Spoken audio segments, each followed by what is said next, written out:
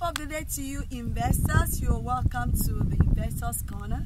And we have brought you down here to be able to see our property just within Abijo GRA, um, located just within the access. And did you notice that while we're coming into the estate, I saw some properties owned by the government? Really. I, saw quite a number of developments.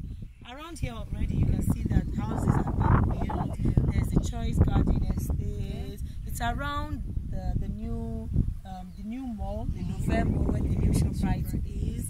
We have the Lagos Business School around here.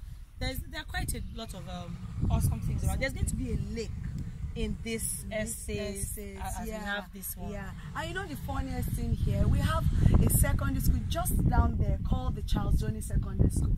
It's actually a boarding school and a day school. So investors, what are you waiting for? You're gonna have a sandfield land here.